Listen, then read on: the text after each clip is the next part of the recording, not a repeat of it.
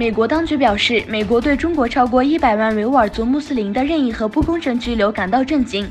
要求终止对少数民族和宗教少数群体的侵犯人权行为。国务院发言人摩根·奥塔古斯告诉记者：“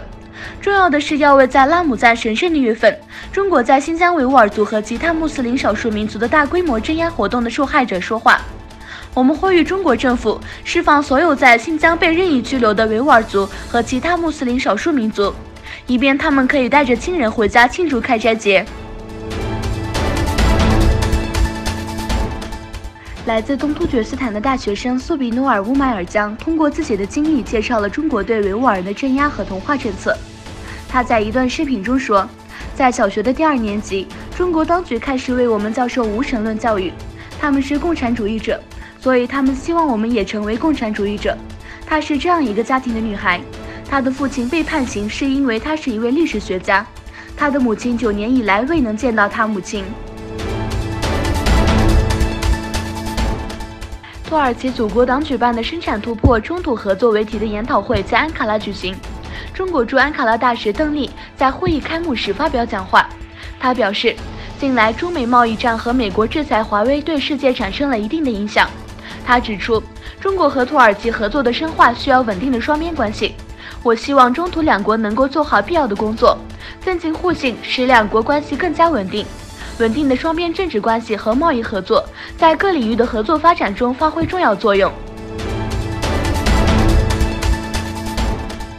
伊朗最高领导人哈梅内伊周三表示，该国不会与美国进行谈判。哈梅内伊在其网站上被引述称：“我们之前说过，我们将不会与美国谈判。伊朗与欧洲和其他国家谈判都没有问题。”但他补充道：“我们不会就革命的核心价值进行谈判。”我们不会就我们的军事能力进行谈判。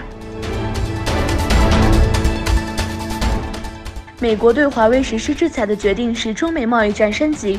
中国官方希望全面替换解放军所使用的 Windows 作业系统，以防被美方骇入。加拿大汉和防务评论线上军事杂志最新内容提到，中国成立网络安全信息化领导小组，内容指出中国为防止美方入侵军事网络。要着手把解放军使用的 Windows 全面置换为中国自主研发的电脑作业系统。切尔西4比1痛宰阿什纳，捧欧洲联赛杯。英超近日，切尔西和炮兵阿什纳在阿塞拜疆首都巴库举行的欧洲联赛大决赛中对决，结果切尔西4比1大胜阿什纳，第二次夺得欧联杯。蓝军在2013年后，时隔六年再次夺得欧洲冠军。这是蓝军第五个欧洲冠军荣誉。两千年在联盟杯决赛中，阿什纳一比四落败于土耳其的萨拉塔萨雷队。一九年后，他再次失败，